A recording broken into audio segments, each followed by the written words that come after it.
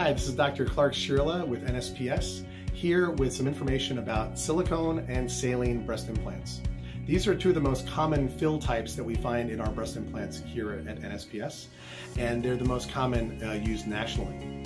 The silicone gel breast implant is one of the most studied medical devices in the history of mankind. Uh, we do feel good about the safety profile of these devices. They do offer a softer, more natural feel. The saline breast implant has undergone some advances as well. This is a modern saline structured breast implant which has internal baffling to provide it a little bit of viscosity so that it has a squishier, more natural feel.